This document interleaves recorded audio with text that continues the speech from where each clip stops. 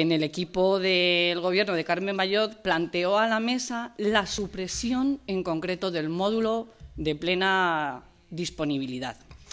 Un complemento específico que sí que tienen estos trabajadores de la gerencia, un total de 38 trabajadores.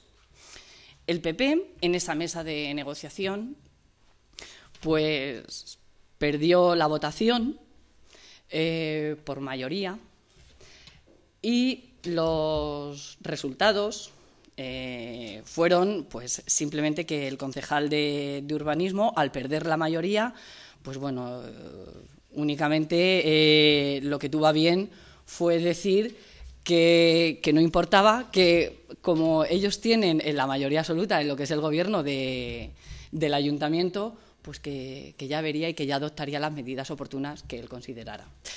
Evidentemente, ¿qué ocurre con, todo esto? Y es realmente el, problema de la cuestión.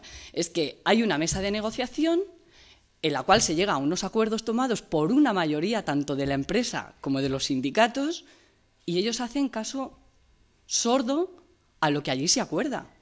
Eh, en esa mesa de negociación se le, se le, propusieron una serie de propuestas, la cual no escuchó en ninguno de los momentos, y bueno, eh, otra, eh, lo que se pretendía ahí principalmente era paralizar el tema, que se escucharan a las partes y que se llegara a una negociación como implica la palabra, mesa de negociación, no solo escuchar, que desde mi punto de vista yo creo que ni siquiera escucha, únicamente oye.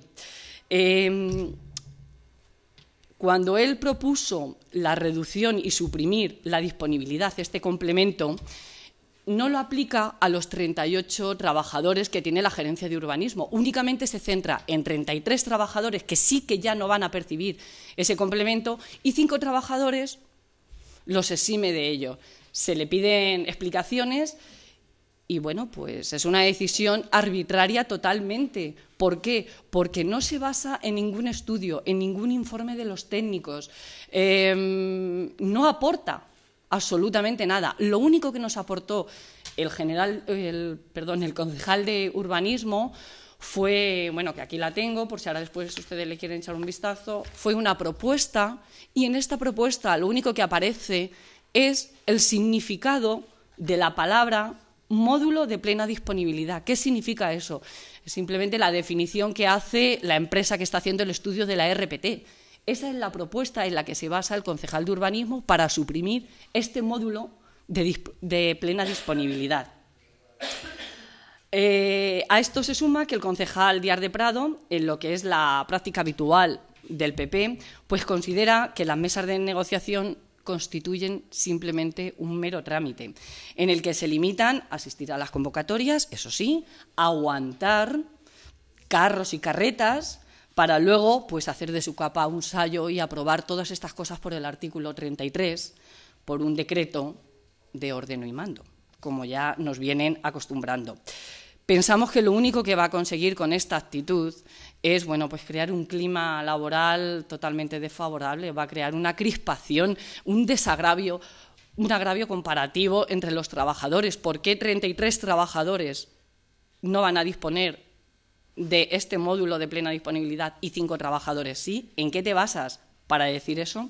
Las propuestas que se le ofrecieron, como ya he dicho anteriormente, bueno, pues fueron todas rechazadas, y el señor Díaz de Prado, en su decisión de imponer su criterio por encima de ese resultado de la mesa, nosotros entendemos que está vulnerando un artículo, y en concreto está vulnerando el artículo 38.3 del Estatuto Básico de los Trabajadores, algo desde nuestro punto de vista bastante grave.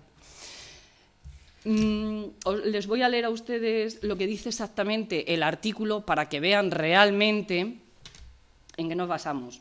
Cuando exista falta de ratificación de un acuerdo o, en su caso, una negativa expresa a incorporar lo acordado en el proyecto de ley correspondiente, se deberá iniciar la renegociación de las materias tratadas en el plazo de un mes, si así lo solicitara al menos la mayoría de una de las partes. Evidentemente, no entendemos y no sabemos qué pretendía el señor concejal de urbanismo al saltarse los acuerdos de la mesa de negociación. No se pueden saltar las normas y estos acuerdos como uno quiera, como si esto fuera un cortijo y aquí mi palabra y mi voz es la última que prevalece ante todo. Si el Partido Popular estos días están presumiendo tanto en el ayuntamiento de Albacete sobre, bueno, en ese sobresaliente de transparencia y gestión que se les ha concedido, la verdad es que con estos atropellos, indudablemente, yo creo que van a suspender eh, los próximos exámenes. Vamos, que el señor Díaz de Prado debería de tener en cuenta y hacérselo mirar esto de la escucha activa. El Partido Popular eh, no le gusta que las diferentes mesas de negociación, en las comisiones informativas, en los patronatos municipales, siempre que se sienten a negociar, pues les digan cuáles son las medidas que tienen que tomar y qué es lo que tienen que hacer o dejar hacer. Eh, simplemente lo que están haciendo a la hora de sentarse a escuchar a los trabajadores, a las diferentes partes, simplemente un mero trámite. Están obligados a soportar que este es el juego y que ellos son los que cortan, la baraja. Y estas reglas del juego ya lo hemos visto cómo las pueden ir cambiando, sin ir más lejos. Bueno, la verdad es que tiene una buena maestra, la señora Cospedal ya lo ha hecho con los diputados regionales. Ha cambiado las reglas del juego como ella ha querido, a mitad de la partida. Lo estamos viendo aquí en el Ayuntamiento de Albacete, cuando le han quitado la voz, la palabra a, las escuelas infantiles, en otros, otros patronatos, como ha sido la, Universidad Popular, lo estamos viendo día a día. Durante el proceso de negociación al que nos referimos, así lo refleja el acta, que está aquí también, eh, las partes ofrecieron una serie de medidas que no perjudicaban a los trabajadores, incluso me atrevo a decir que beneficiaban también la imagen de lo que sería de, la gestión que está haciendo el concejal de urbanismo. Pues no, no nos paramos a escuchar, no nos paramos a reflexionar. Entonces, bueno, pues no es solo que va a perjudicar eh, la situación laboral de los trabajadores, sino que, bueno, pues que va a crear este, este problema realmente entre ellos. Y lo único que se necesitaba era no solo con esa voz de ordeno y mando, sino pedir un informe a los técnicos, pedir un estudio que puedas contrastar, que puedas argumentar el porqué de esta situación, el porqué de esta situación. El concejal, bueno, pues escudó que esta medida no es solo una cuestión económica, sino que no todo el mundo tiene por qué cobrar ese módulo de plena disponibilidad pero que en el que se apoya, vamos, para decir esto, pues realmente es que no sabemos en qué, en qué se está apoyando. Es una actuación autoritaria, es absoluta, y lo único que aportó en su día a la mesa general fue lo que ya les he comentado de esa definición de la, de la RPT, que tal vez lo que tendría que hacer el señor Díaz de Prado es buscar realmente en el diccionario el significado de la palabra gestión, que no es sinónimo de supresión, ni muchísimo menos y aplicárselo a su trabajo diario. En estos momentos en los que la actividad urbanística, y todos somos conscientes de ello, evidentemente, está prácticamente parada, eh, no son unos momentos idóneos, pues nunca mejor dicho, lo que debe de hacer es ponerse manos a la obra y empezar a trabajar en ello. Y ser noticia, y eso sí que sería un halago y lo defenderíamos nosotros a capa y espada, ser noticia a nivel nacional, donde el concejal de urbanismo del Ayuntamiento de Albacete es noticia no por los despidos y los recortes, sino por toda la promoción urbanística que está haciendo, porque realmente está siendo creativo, porque realmente está buscando condiciones y situaciones laborales para la gente que está en la gerencia de urbanismo. Y todos sabemos que cuando el trabajo no va bien, la gente tiene que salir a la calle. Pero este señor concejal de urbanismo, el señor Díaz de Prado, mm, ¿cómo diría? Parece que le ha venido bien el haber vivido un poco de las rentas. Señor Díaz de Prado, esto sí que es una herencia recibida, que usted ha recibido por parte de la, de la antigua corporación municipal y son el resultado de un trabajo bien hecho. Y ahora, pues usted se está dando cuenta de que el trabajo hay que salir a buscarlo, de que no puede vivir así, esperando a que un día abra la puerta de su despacho y tenga una cola allí de promotores, de arquitectos, que quieran urbanizar la ciudad. No. Ese no es el trabajo que tiene que hacer un concejal. El trabajo que tiene que hacer un concejal es el de gestionar, el de mirar por sus trabajadores, el de hacer unos presupuestos en función de necesidades, no únicamente como ha hecho en este caso. Él ha hecho un presupuesto, o han hecho un presupuesto para el 2013, en el que primero adaptan los números y luego vamos a adaptar las situaciones laborales del personal. No, señor Díaz de Prado, las cosas no se hacen así.